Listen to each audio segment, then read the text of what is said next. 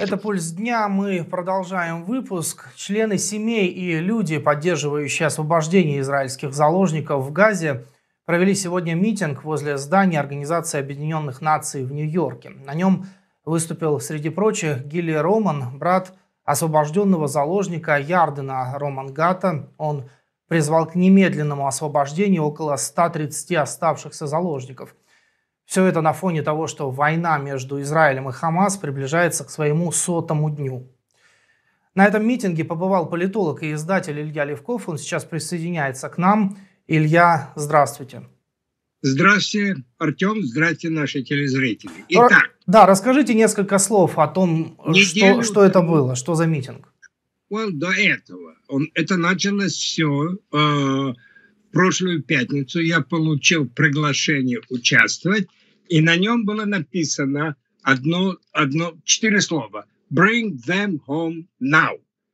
Приведи, возврат, не, э, э, это не возвратите, bring them, проведите и возвратите их домой сейчас. Меня это как политолога ошарашило.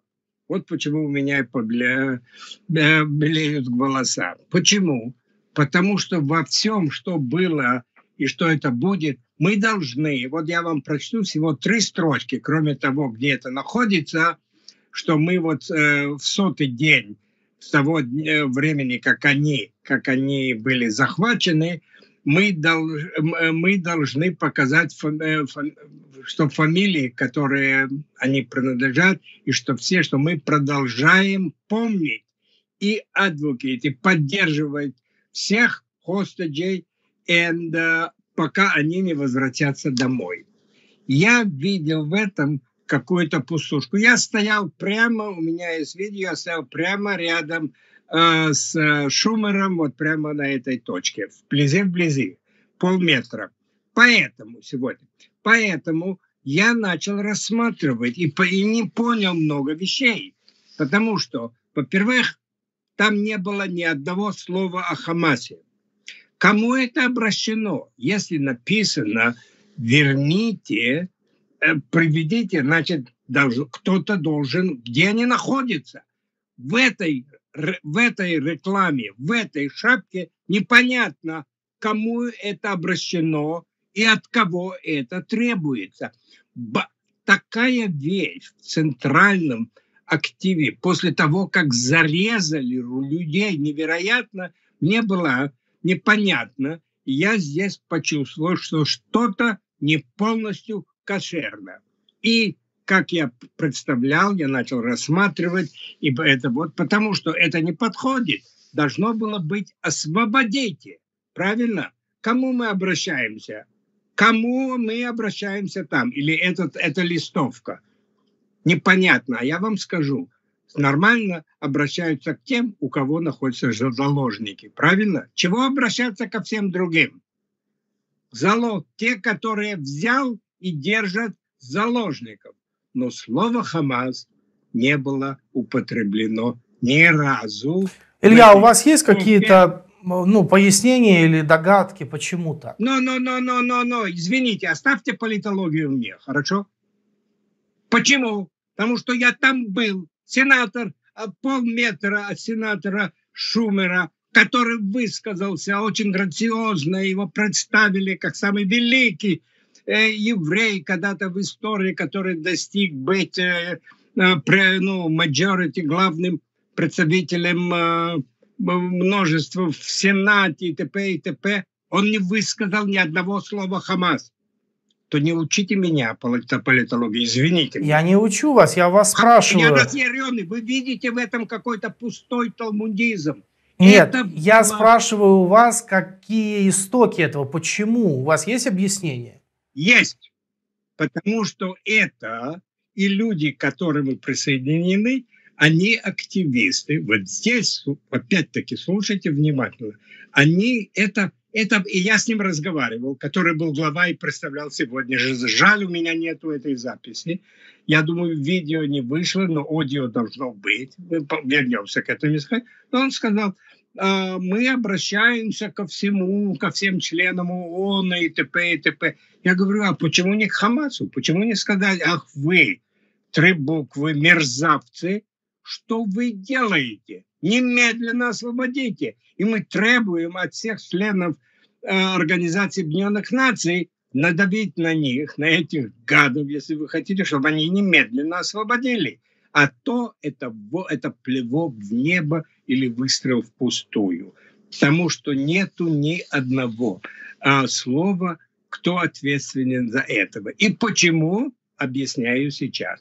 Потому что это полуорганизация, она идет против израильского правительства – несмотря на то, что там были указаны имена, большие имена больших организаций, JDL, American Jewish Committee и uh, The Jewish Agency, которая практически параллельно государству, правительству Израилю, не было ни одного из этих людей сегодня там. Об этом никто не говорит, не знает, и не этот репортер, который представил. Поэтому я не хотел царапаться с сенатором. Но я подошел. Единственная, которая сказала, произнесла слово «Хамас» на этой встрече, был губернатор штата Нью-Йорка. Она. Хорошо? Все, извините. Я здесь в пылу. Поэтому, потому что эти люди, они заигрываются. Одновременно идет борьба за будущее Израиля одновременно эта борьба происходит между президентом США, Блинкиным, э, представителем министра иностранных дел Госдепа и другими, которые поддерживают их, так сказать, лагерь, главный флагман этого движения, первым делом сбросить Натаньяу, это Лапид в Израиле, как вы знаете. Сейчас, вот где происходит, здесь происходит политическое международное столкновение, которое часть завуалирована. Поэтому они говорят, мы не хотим. Значит, те, которые представляют всех семей этих, которые остались более ста э, в руках Хамаса, они не хотят, говорят, мы не будем требовать от Хамаса их освободить. Что это за движение, скажите мне? Что это за движение за свободу заложников, когда ими, э, которые контролируют, захватили эти заложников и контролируют, и не ведутся никакие переговоры, вообще не упоминаются. Да, но честно должен сказать для наших телезрителей, что если бы вот вы сегодня утром не позвонили и не сказали мне об этом мероприятии, то э, в очередной раз мы бы и не знали. Настолько эти мероприятия в защиту заложников, настолько они микроскопические какие-то, и вот практически о них никто не знает. И я много раз уже говорил о том, что в социальных сетях об этом вообще ничего нет. И если есть, то это вот ну, где-то в каких-то мелких группах извините, очень точечно. Извините, а когда основе... идут про палестинские протесты, это из каждого утюга. Правильно дайте мне закончить с интересной личной ноткой невероятной. Да, пожалуйста. Я ушел прямо как протест после 20 минут. Я расспраш... про... Про... Про... спрашивал некоторых людей, скажите, а против кого, как это и как-то, и на меня смотрели как на дикого понимаете, человека, то я взял, повернул, я заснял там 20-30 минут, и я ушел. Я стоял с другой стороны и слушаю, и вот одна женщина там стоит в конце и говорит, ах, какой, какой бред он несет, э, что он хочет. Всего две недели назад, значит, этот спикер сказал, я был здесь две недели назад против, тоже бороться против него. Но это неправда. Это главный раввин, слушайте, это главный раввин Центральной э, синагоги э, Манхэттена, доктор Шмоктор и все такое, понимаете? И да, он был там, две недели назад на этом месте, но он протестовал против Биби и нынешнего правительства. Об этом он не сказал. Опять-таки, это третий, четвертый человек в ранге где-то, который выступал там уже. Понимаете? И эта женщина говорит, слушайте внимательно, вот это невероятно. То я разговорился с этой женщиной э, в белой шубке, и я, говорю, и, и я чувствовал, что она как-то имеет какие-то я почувствовал, она также смотрит на это критически, как я. И я сказал, вы готовы высказаться? Мне 3-5 минут она сказала «да», и я ее заснял. Опять-таки, я не дошел до моих съемок. Слушайте, она, она дала мне свою позицию, и потом я ей говорю, как вас зовут? Она говорит, Рэйчел. Ну, а я говорю, и фамилию. А фамилия, она мне сказала. Я не хочу говорить фамилию, но я сказал ей, вы знаете, где-то много-много лет тому назад, а именно в 70-м, примерно 53 года назад, я знал кого-то с такой фамилией и говорю ее имя. Вы знаете, что она мне отвечает? Это моя мама. Но это не только, что случайно это моя дочь моей однокашницы в Колумбийском, понимаете? Интересно то, что я участвовал, когда она родилась. Ей было всего два, два месяца. Мама ее, ну моя, я длинная история, она, я ей помог сэкономить деньги и перефотографировать фотокарточки этой девочки, которой было два месяца. Сейчас она стоит со мной. Мы были ошеломлены, это невероятно. Я до сегодняшнего дня просто. И мы, конечно, на том же полюсе поняли и понимаем это, понимаете? Я не знаю, чем она занимается, я не успел расспрашивать ее.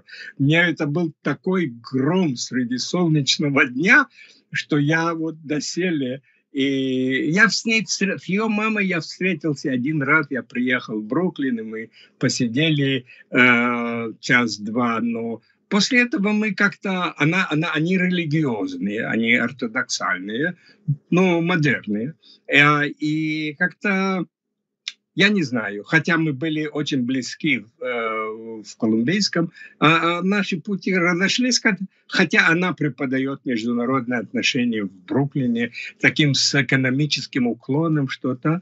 И, а ее сын сейчас, этой крошки, находится в Израиле, солдат, и находится на северной границе. Скажите мне, то вы, вы начинаете верить в Бога? Илья, спасибо большое вам за то, что нашли время пообщаться с нами сегодня. Это был политолог, издатель, руководитель издательства «Либерти» Илья Левков. Спасибо вам. Таким был этот день, каким его увидели мы в редакции программы. Через несколько минут моя коллега Наталья Быстрицкая с паскриптумом. А мы увидимся с вами в понедельник в программе «Рикошет» в 5 вечера по Нью-Йорку. Я желаю вам хороших выходных и до свидания.